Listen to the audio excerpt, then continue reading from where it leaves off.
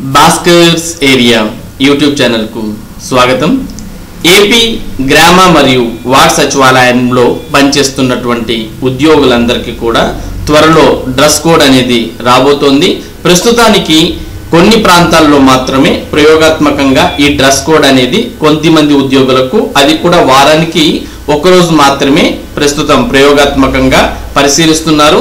త్వరలోనే అన్ని జిల్లాలలో అన్ని సచివాలయాలలో ఈ డ్రెస్ కోడ్ అనేది అమలు కానుంది. మరి దీనికి సంబంధించిన మరింత సమాచారాన్ని మనం ఇక్కడ చూడవచ్చు. సచివాలయాలలో డ్రెస్ కోడ్. జిల్లాలో ప్రయోగాత్మకంగా అమలు. గూడవల్లి జక్కంపూడి సచివాలయాల ఎంపిక. త్వరలో మండలానికి రెండు సచివాలయాలలో. ఇక్కడ చిత్రంలో కూడా చూడవచ్చు. డ్రెస్ కోడ్ను పాటిస్తున్న గూడవల్లి మోడల్ సచివాలయ ఉద్యోగులతో ఎంపీడీఓ సునీత అంటూ ఇక సచివాలయ వ్యవస్థలో వినూత్న మార్పుల దిశగా అడుగులు పడుతున్నాయి. సచివాలయ ఉద్యోగులకు డ్రెస్ కోడ్ను అమలు చేయనున్నారు. ప్రయోగాత్మకంగా కృష్ణా జిల్లాలో ఈ విధానాన్ని ప్రారంభించారు. తొలుత విజయవాడ రూరల్ మండలంలోని Gudavalli one Jakkampudi one model గ్రామ సచివాలయాల్లో డ్రెస్ కోడ్ అమలుకు శ్రీకారం చుట్టారు. మొదటి దశలో వారంలో ఒక రోజు డ్రెస్ కోడ్ పాటించాలని జిల్లా అధికార యంత్రాంగం నిర్ణయించింది. స్కై బ్లూ బిస్కెట్ కలర్ డ్రెస్ను ఎంపిక చేశారు. జిల్లాలో అన్ని మండలాల్లో రెండు గ్రామ మోడల్ సచివాలయాల్లో వీటిని అమలు చేసేందుకు చర్యలు చేపడుతున్నారు. ఇప్పటికే రెండు సచివాలయ ఉద్యోగులకు డ్రెస్సులు పంపిణీ చేశారు.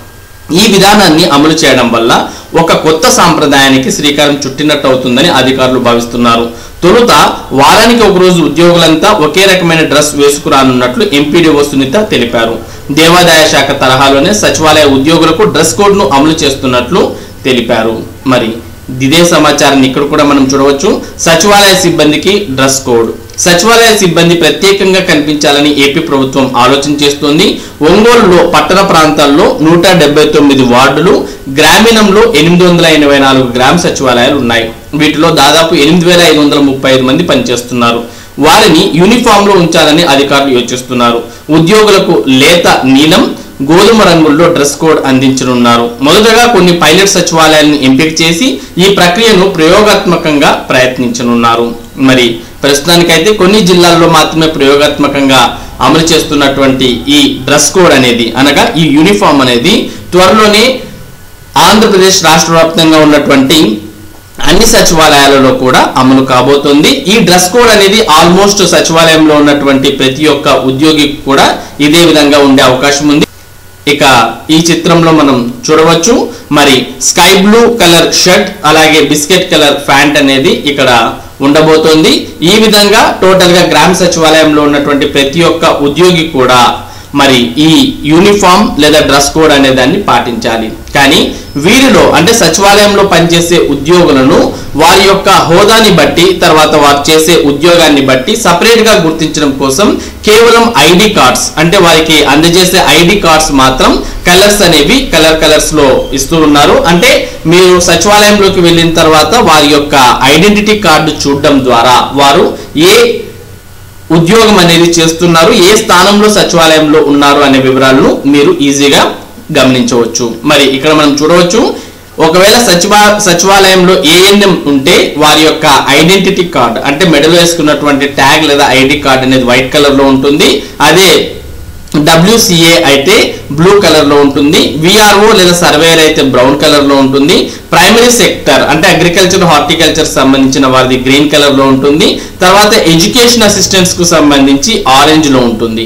ఇక డిజిటల్ అసిస్టెంట్ యొక్క ఐడెంటిటీ కార్డ్ రెడ్ కలర్లో ఉంటుంది. మహిళా పోలీసులకు సంబంధించిన ఐడెంటిటీ కార్డ్ కాకి కలర్లో ఉంటుంది.